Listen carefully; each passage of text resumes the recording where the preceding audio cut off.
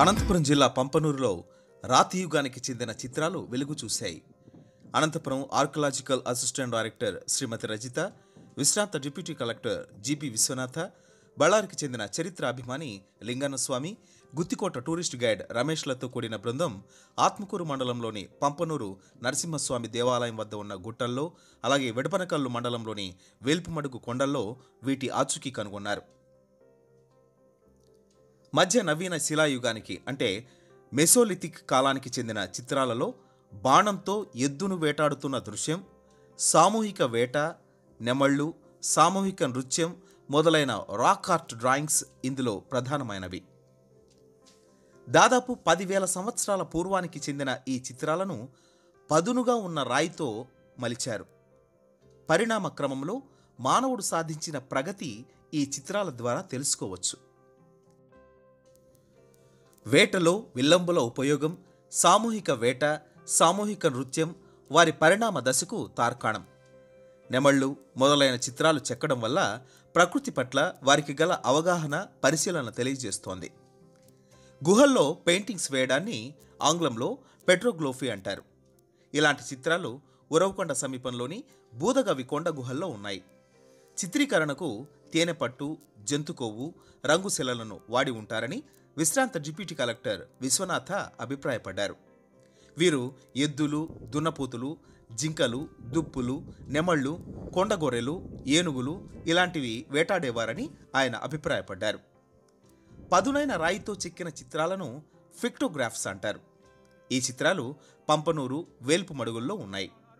వేల్పు మడుగులో లింగనస్వామి సాయంతో archaeological assistant director ప్రాచీన మానవుడు ఉపయోగించిన రాతిగొడ్డలి వడిసెరాళ్ళు మాంసం కోసేందుకు అలాగే గీకేందుకు ఉపయోగించిన బ్లేడ్లు సేకరించారు.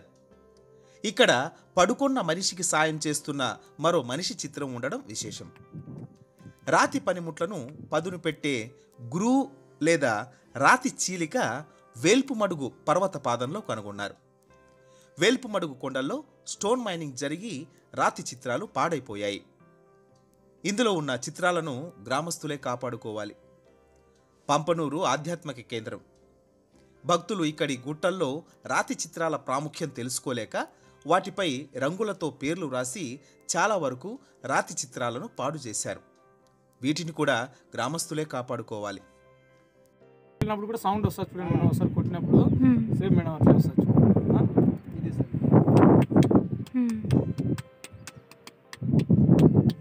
ఇక్కడ చూడండి సార్. అది లేదు అది లేదు అది లేదు. ఆడింది మేడం. కాకపోతే ఇట్లా సౌండ్ వస్తుంది. సౌండ్ వస్తుంది. అంటే అటు పోయే లోపల మందం ఉంది సార్ రాయి. అది మేడం.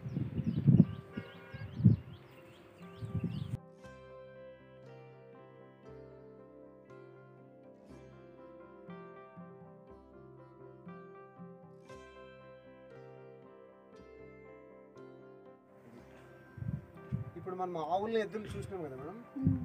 పెయింటింగ్లో మాత్రం ఇట్లా చదును చేసి తర్వాత గ్యాప్ ఇడిసి మళ్ళా చదును చేసి మళ్ళా గ్యాప్ ఇడిచాడు ఇక్కడ మన ఈ బ్రూజింగ్స్లో కానీ ఈ విధంగా చేయడము ఇదే ఇక్కడే మొట్టమొదటిసారిగా.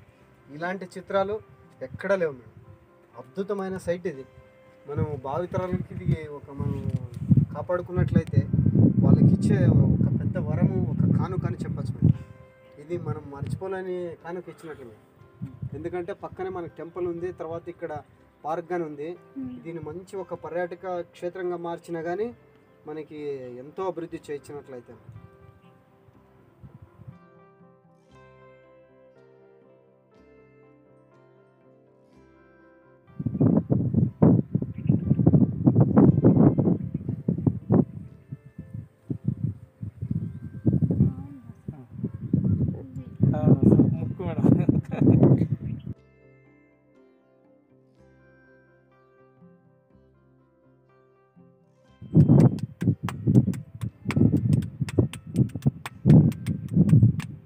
ఇట్లా మనకి ఒక్క రాయిలోనే వివిధ స్వరాలు వివిధ స్వరాలు.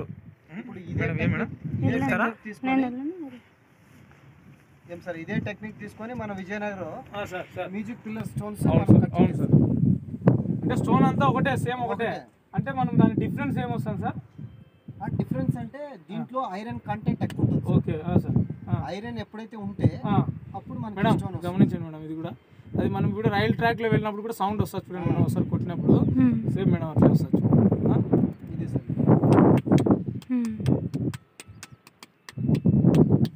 ఇక్కడ చూడండి సార్. ఆడింది మేడం. ఇట్లా ఎడ్జెస్కి సౌండ్ వస్తుంది. సౌండ్ వస్తుంది. ఈ వీడియో మీకు నచ్చితే లైక్ చేయండి షేర్ చేయండి. మరిన్ని ఉపయోగకరమైన ఇంట్రెస్టింగ్ అప్డేట్స్ కోసం ఈ ఛానల్ను సబ్స్క్రైబ్ చేసి బెల్ ఐకాన్ నొక్కండి.